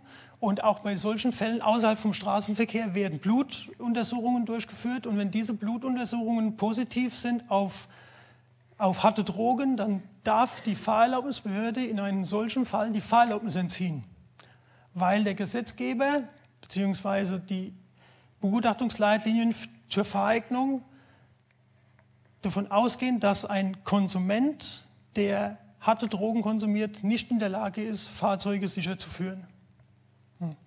Und diese Feststellungen, die sind nicht an einen einmaligen Konsum, einen gewohnheitsmäßigen Konsum, an einen gelegentlichen Konsum oder an eine Abhängigkeit gebunden, sondern allein der Konsum reicht hierfür aus. Deswegen ist es auch immer wieder so, dass wir als Fahrerlaubnisbehörde auch tätig werden bei Leuten, die gar nicht am Straßenverkehr teilgenommen haben und dann äh, das dann auch entsprechend den Leuten gegenüber erklären müssen. Und das ist manchmal nicht ganz einfach. Wir haben hier das Beispiel ähm, Bußgeldstelle, auch was den Grenzwert angeht. Ähm, ich habe es hier noch mal hineingeschrieben. Die Bußgeldstelle, die hat einen Grenzwert von 0 von 25 Nanogramm, das sind 0,025 Milligramm. Und ähm, diese, diese Grenze darf für die Ahndung von Bußgeldern nicht unterschritten werden. Sind es hier 0,24 Nanogramm, darf die Bußgeldstelle nicht mehr tätig werden. Das ist für uns alles total irrelevant. Diese Grenzwerte gelten für die Fahrlamtsbehörde im Bereich der harten Drogen gar nicht. Bei uns muss nur feststehen, es wurden Drogen eingenommen, die Drogen wurden festgestellt und äh, dann können wir hier unsere Tätigkeit dann in Angriff nehmen. Hm. Ich habe es hier unten auch nochmal aufgeschrieben. Wir haben eine nachgewiesene einmalige Einnahme von Betäubungsmitteln mittels dem toxikologischen Befund, dem Blutgutachten. Oder wir haben Angaben der Person. Das ist manchmal auch ganz interessant. Wir, haben, wir kriegen als Fahrerlaubnisbehörde von der Polizei mittlerweile Mitteilungen aus allen Bereichen. Wir müssen ähm, die körperliche, geistige Vereignung ist ein ganz breites Feld mittlerweile. Und wenn jetzt zum Beispiel uns mitgeteilt wird, dass bei einer Person bei einer Hausdurchsuchung Betäubungsmittel aufgefunden wurden und da ein äh, Strafverfahren eröffnet wurde wegen Verstoß gegen das Betäubungsmittelgesetz, Besitz oder Anbau oder ähnliches, dann dürfen wir uns Einsicht in die Strafakte bei der Staatsanwaltschaft holen. Das geht. Ähm, da haben wir die Berechtigung dafür. Und wenn in dieser Strafakte die Person die Aussage trifft, dass sie Konsument von Drogen ist oder dass die Drogen für ihren Eigengebrauch waren, dann hat das schon wieder Einfluss auf die Vereignung, auch wenn hier keine Feststellung im Straßenverkehr stattgefunden hat. Hm. Also sind auch diese Angaben da ganz, ganz wichtig und essentiell für uns und deswegen ist es mittlerweile unser tägliches Brot, auch ständig Strafakten von der Staatsanwaltschaft anzufordern. Liegt die Einnahme vor von sogenannten harten Drogen? Ist die Person ungeeignet? Die Fahrerlaubnis muss entzogen werden unter sofortiger Vollziehung. Das heißt, mit Zustellung von dem Schreibe in den Briefkasten darf man keine Fahrzeuge mehr führen. Das ist im Moment das Zustellungsrecht. In Rheinland-Pfalz haben wir jetzt seit einigen Monaten ein, Modell, das Koblenzer Modell. Äh, wir haben vorhin kurz darüber gesprochen, 2002, 2003 war es mal Stuttgarter Modell, jetzt ist es das Koblenzer Modell. Hier hat man sich Gedanken gemacht, wie können wir denn eigentlich Leute, die sich als ungeeignet zum Führen von Fahrzeugen erwiesen haben, ähm, schneller vom legalen Straßenverkehr ausschließen. Das Problem bei dieser ganzen Geschichte ist einfach, der Werdegang. Wenn ich eine, eine Feststellung habe, äh, Einfluss unter Drogeneinfluss im Straßenverkehr, dann macht die Polizei die Mitteilung an die Fahrerlaubnisbehörde. Ähm, wir als Fahrerlaubnisbehörde äh, schreiben die Staatsanwaltschaft an, sagen denen, sie sollen uns doch bitte mitteilen, ob es zu einer Entziehung nach dem Strafgesetzbuch kommt oder ob die Sache an die Bußgeldstelle abgegeben wird. Ähm, diese Schreibe, die verfassen wir öfters, sage ich jetzt mal, und das kann bis zu drei, vier Monaten dauern, bis da eine Einstellung erfolgt oder bis wir da Rückmeldung bekommen, dass es mittlerweile an die Bußgeldstelle abgegeben ist. Und das heißt, zwischen dem Zeitpunkt der Verkehrskontrolle und dem Zeitpunkt der entsprechenden Entscheidung durch uns können manchmal vier, fünf Monate liegen. Und das ist das, was man ja eigentlich verhindern will, weil man hat eine Person, die sich als ungeeignet erwiesen hat zum Führen von Fahrzeugen und hat die Person dann aber trotzdem noch vier, fünf Monate im Straßenverkehr, bis auf dem verwaltungsrechtlichen Weg endlich was passieren kann. Das sind im Moment so ein bisschen die Hürde, die noch entstehen. Da hat man jetzt versucht, mit diesem Koblenzer Modell ein bisschen entgegenzutreten. Ähm, wir hatten jetzt bei uns im Donnersbergkreis, ich muss dazu sagen, wir sind ein Kreis mit 78.000 Einwohnern. Ähm, wir hatten jetzt bis jetzt fünf Fälle, die nach dem Koblenzer Modell abgewickelt wurden. Das funktioniert eigentlich ganz gut sobald die Person einen positiven Nachweis ähm, hatte in, in, in, diesen Fällen Urin und hatte bei der Polizei die Aussage gegeben, ja, ich habe dieses äh, Produkt auch konsumiert und hat es unterschrieben, wurde der Führerschein sichergestellt durch die Polizei, wurde direkt an uns gegeben und wir müssen dann innerhalb von fünf Tagen eine entsprechende schriftliche Verfügung durchführen, damit, äh, wo dann geregelt ist, dass die Person keine Fahrzeuge mehr führen darf. Und äh, das ist jetzt das Ziel. Das ist jetzt im Moment, ähm, ist es noch ein Modell? Ich glaube, es ist noch ein Modell. Es wird noch weitergeführt. Wenn sich das so durchsetzt, ähm, tut es mit Sicherheit und Sicherheit des Straßenverkehrs weiter äh, gut. Man muss jetzt mal sehen, wie sich das entwickelt, diese ganze Geschichte. Wenn die Polizei den Führerschein mitgenommen hat, ja. bei der Kontrolle zum Beispiel, dürft ihr dann weiter noch fahren? Nee. Bei einer vorläufigen Sicherstellung ist, ist zunächst mal ein Ausschluss aus dem Straßenverkehr. Kommen wir zu dem Cannabis. Kommen wir zu dem Cannabis. Sonder die Cannabis hat in der Fahrerlaubnisverordnung eine kleine Sonderstellung. Man hat ja ähm, bei diesem 9.1 Betäubungsmittel im Sinne des Betäubungsmittelgesetzes, außer Cannabis, könnte man jetzt sagen, das regelt die harte Droge, das regelt jetzt, jetzt gerade die weiche Droge, hat eine Sonderstellung bekommen. Ich will es jetzt nicht als weiche Droge bezeichnen, aber man hat sich entsprechende Gedanken gemacht und hat für die, für die Fahreignung, ist man eigentlich zum Ergebnis gekommen, dass man, wenn man Konsument von Cannabis ist, tatsächlich fahrtauglich sein kann. Man muss nur bestimmte Voraussetzungen erfüllen. Hm? Man hat die regelmäßige Einnahme von Cannabis geregelt, klipp und klar, und hat die gleichgestellt mit den harten Drogen, hat gesagt, wer regelmäßiger Konsument von Cannabis ist, der ist nicht geeignet zum Führen von Fahrzeugen, nicht geeignet zum Führen von Fahrzeugen aller Art. Äh, der ist genauso ungeeignet, dem muss die Fahrerlaubnis entzogen werden. Man hat aber auch sich Gedanken gemacht, was ist denn eigentlich mit den Personen, die gelegentlich Cannabis konsumieren, die nicht regelmäßig äh, Cannabis konsumieren.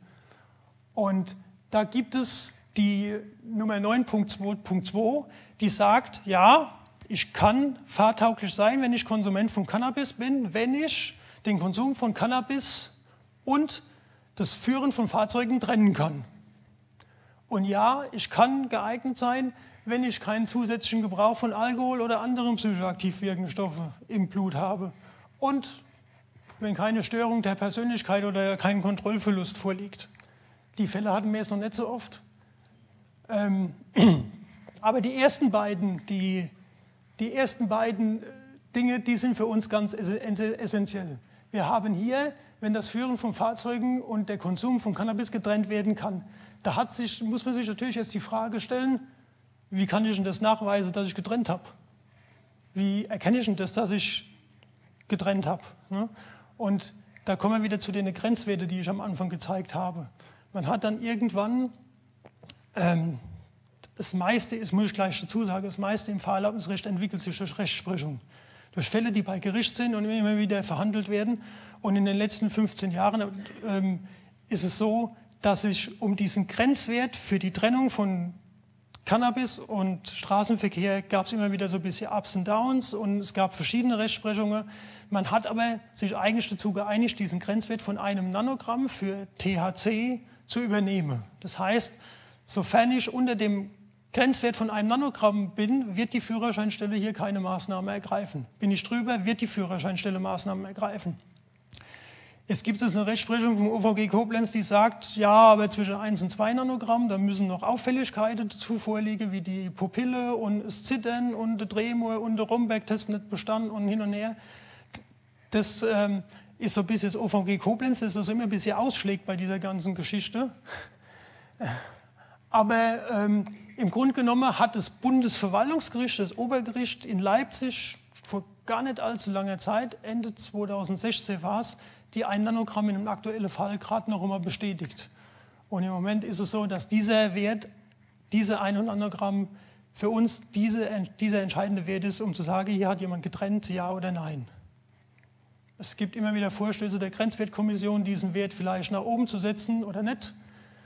Es wird immer wieder vorgeschlagen, es ist immer wieder Thema beim Verkehrsgerichtstag, aber ähm, ins Gesetz und in die Rechtsprechung hat es irgendwie noch kein ähm, Gehör gefunden und äh, somit müssen wir weiterhin davon ausgehen, von diesem einen Nanogramm.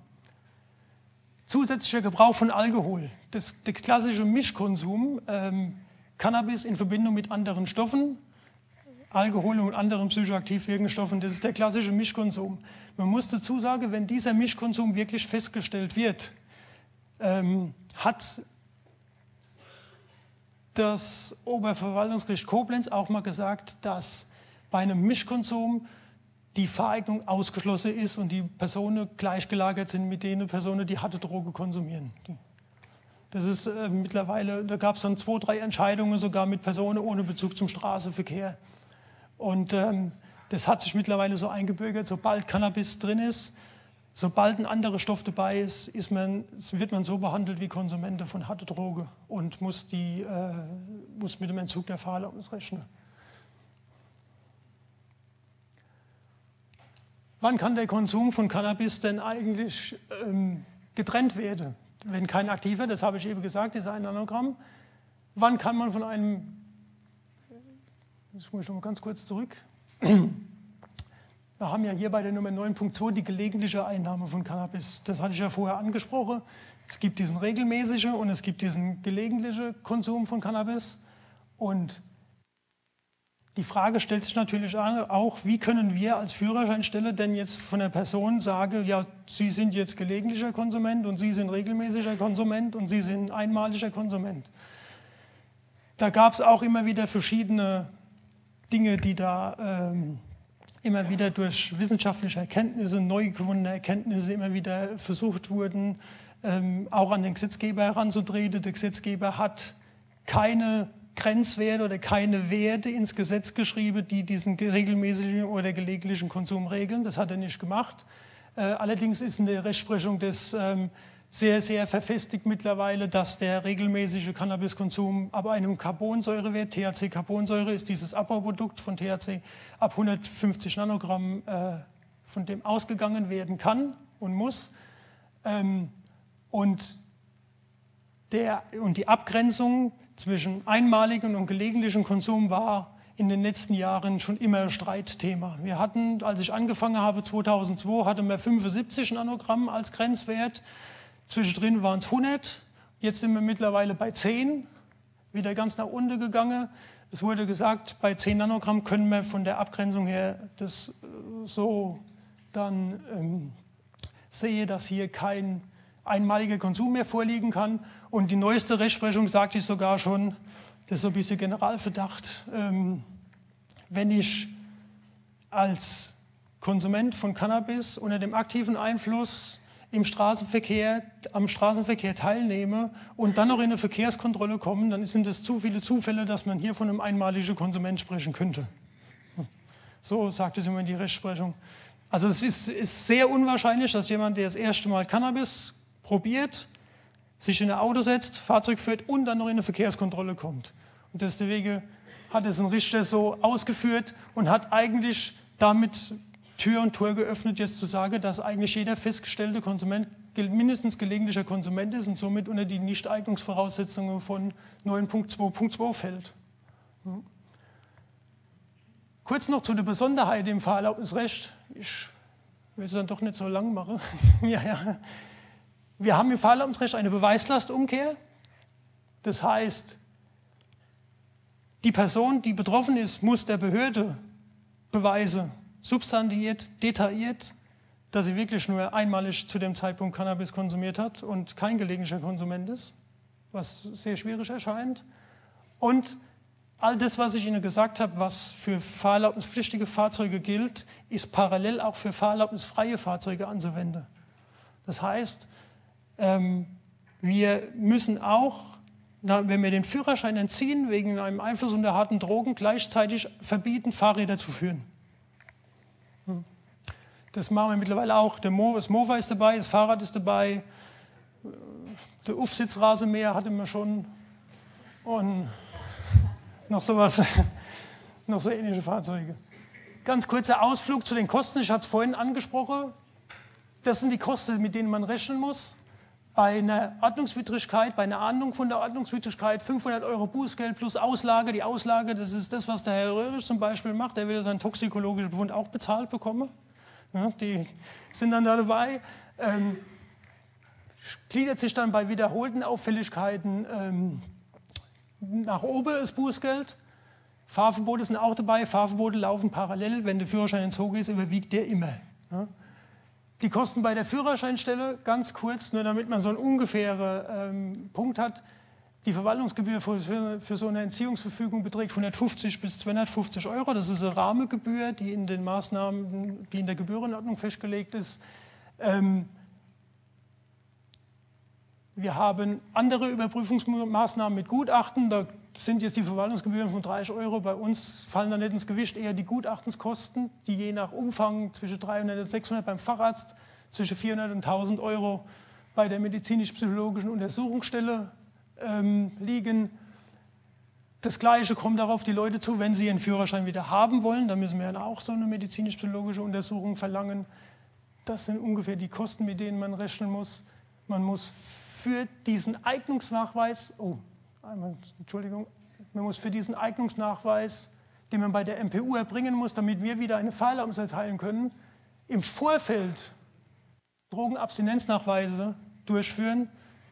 Kann man mit Haare machen, kann man mit Urin machen. Die Kosten habe ich jetzt mal so breit gefächert, aber die liegen so in dem Rahmen, denke ich. Das ist auch immer ein bisschen verschieden.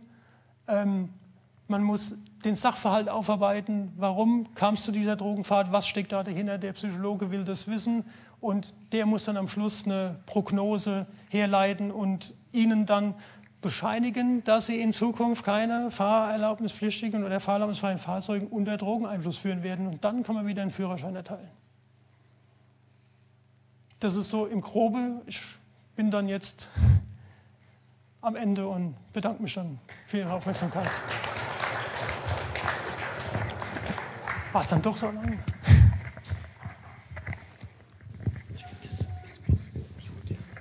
Ja, vielen herzlichen Dank.